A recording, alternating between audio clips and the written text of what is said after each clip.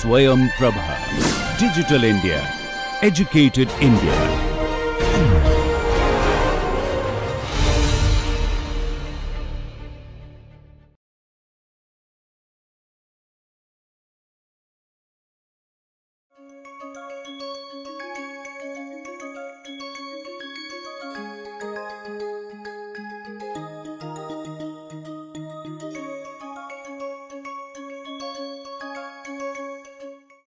Let's start now looking at what are the kind of outputs this methodology can give you.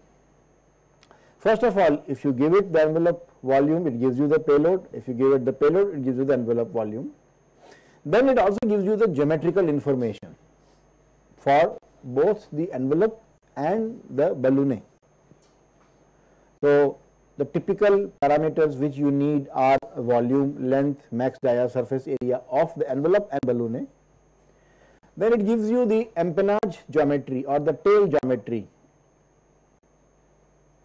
What is the area of the fins? What are the root and tip chords for a given shape? Shape of the fins is fixed. It also gives you an idea about how much power needs to be installed, assuming some offtake for other accessories, remaining is used for providing the maximum speed performance at a given operating condition. How much power will you need? And it generates uh, lots of data as output. It gives you weight breakdown, which is what is very useful for the designer. What is the weight of all these items and sub assemblies? It gives you the amount of fuel that you need to carry. It gives you the net lift available and hence you can use it to decide whether your static heaviness or lightness is sufficient or not. And there is a parameter called as target ratio which we at that point of time thought to be something like the objective function. So, empty weight plus fuel weight we would like to minimize and payload weight we would like to maximize. If the payload weight is fixed such as in the design loop of the methodology, then for a given payload it will be nice to have lesser empty weight and lesser fuel weight to meet the mission requirements. Less fuel weight will come from better drag characteristics and lesser empty weight will come from the size of the envelope. So, this target ratio we would always like to make it low and low and low. So, if somebody wants to cast the problem in optimization framework for a minimization of objective function, one could use target ratio as the objective function. That was the original purpose of giving up this particular parameter. Okay. I would like you to look at this flowchart as I explained to you the various elements little bit briefly. So, as you can understand this particular flowchart showcases the methodology in the analysis framework where the envelope volume is to be assumed. In fact, in the design methodology because payload, payload uh, weight is fixed. So, what you do is you assume some envelope volume. How do you assume envelope volume? What is the starting point? What would you do? Doesn't matter. You can take anything you feel like. You can take 1 meter cube. In the iteration loop, you will have to increase or decrease if it doesn't meet the requirement. So, any non-zero entry is acceptable as an assumption for the volume. So, volume is assumed. Let us say 100 meter cubes just to start with. First thing you do is you compute the geometrical data. So, first thing that you do is you have to understand what would be the lift available with a given volume of a given shape. Now, shape is not being touched here. So, we assume that you do this analysis for a given shape which is already decided. So, let us say the shape is spherical for very simple analysis. So, lift at minimum and maximum operating altitude or height. This you can calculate using the standard buoyancy formulation. If you really want to be very particular, you can use effect of humidity, effect of super pressure, effect of superheat, effect of purity, etc., etc. All that is incorporated in my methodology. But in a simplistic analysis, just like you did for your hot air balloon, you can probably ignore those effects and consider ISA conditions, no superheat, no super pressure, full uh, purity, and you can get very simple explanations. Then with that you will be able to calculate the ballonet volume because the inflation fraction needed for maintaining a particular pressure altitude from operating altitude can be easily obtained using the formulae that we have discussed. It is actually nothing but density ratio. You know that I2 by I1 is equal to rho 2, rho 1 by rho 2 for a simplistic case. Envelope geometry, once the volume is known, once the shape is known, one can work out the length, diameter, etc. And we have a simple correlation between the envelope area and the area of the tail surfaces required. This is one small contribution that we have done. I will explain to you later on. So, with this you get the geometrical information about the airship. Okay. Now, you have to calculate now how much power is needed. So, for that you need to first calculate the drag coefficient. Now, in, in the initial stages of design which is where we are, you might be comfortable in using simple empirical formulae for drag estimation as a function of the shape and the dimension rather than very complicated CFD analysis. So, somebody might say does not matter, I can couple some kind of a CFD solver here for a given shape with the operating conditions and the geometry properly known, I can run a CFD analysis and get you the correct drag value. We chose to use a simplistic empirical formula for estimation of drag. That formula gives you drag coefficient in terms of two parameters the Reynolds number and the lift over length over diameter ratio.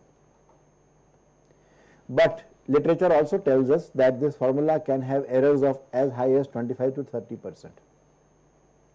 This is very typical in conceptual design, but if you want to compare three shapes you can assume that the error will be almost the same in all of them. So, therefore, the effect of L by D and Reynolds number can be captured through the formula. Let us say you have got drag coefficient either by a slightly more accurate method. So, I am looking for someone to help me in creating a better design methodology perhaps as part of a dual degree project or as part of an MTech project. So, this methodology is open to enhancement and improvement. As always in research, we have published a paper based on this methodology. I will show that to you. You can help me enhance it and get a much better publication. Okay, let us say we have drag coefficient. After that, you calculate the power required. That will be simply drag into velocity cube. And with that, you will get how much power needs to be generated. Let us say 100 horsepower. Then you add to that percentage needed by the onboard systems and you will get an idea about what is the engine that you have to incorporate in this particular airship.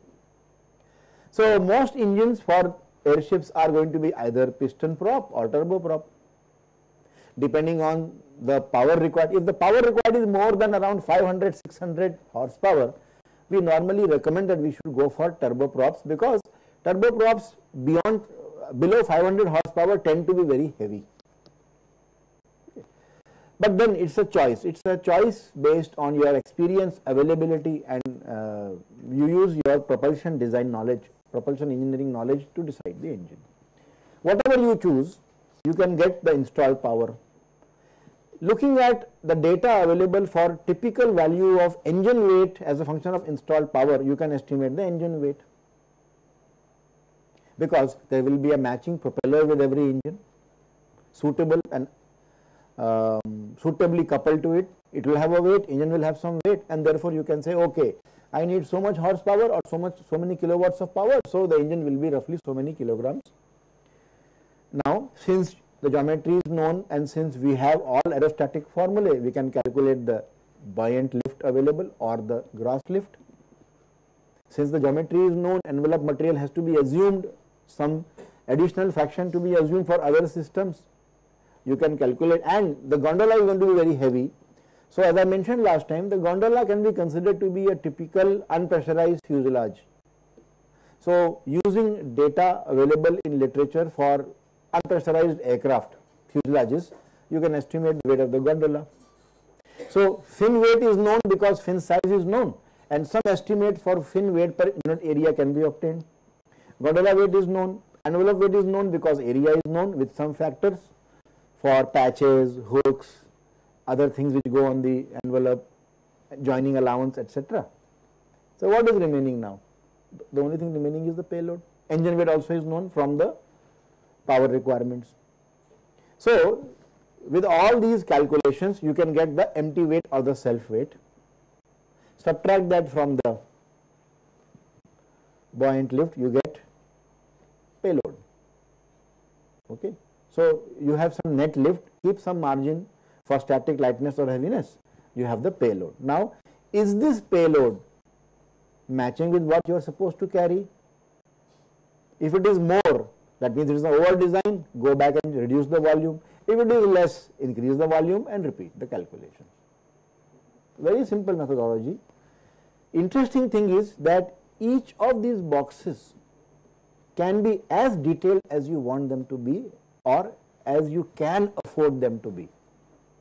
For example, someone can say, no, I will do a sizing of an engine to meet this requirement inside the propulsion box.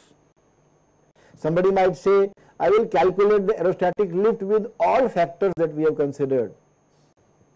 Free, you are free to do that. The more accuracy you bring in, better will be your estimate. But it is generally recommended that in the conceptual design stage, let us not be so particular and so much in detail because you have to do it many times unless you are able to automate it in a reasonable amount of time. Okay. Any questions? I think it is very straightforward. Suppose you want to convert this into the other uh, type that means um, volume is known, find the payload that can, can be carried. You can simply tweak the methodology, uh, assume some payload and then check if the volume available matches, if not reduce the payload or increase the payload. Okay. So, this is an open problem in which academical mathematical rigor in each of the boxes that you see could be incorporated to make it more and more accurate, more and more relevant, more and more appropriate so that it is more and more believable. So, what I will showcase to you is the kinds of numbers that we established as part of our study. Remember, this is not a student project. This was an actual design project carried out for an industry. I should not say as a consultant, but as a sponsored R&D work. So, I just want you to give to get a flavor of what kind of mathematical rigor is acceptable and what kind of statistical, empirical, semi-empirical data is used by designers.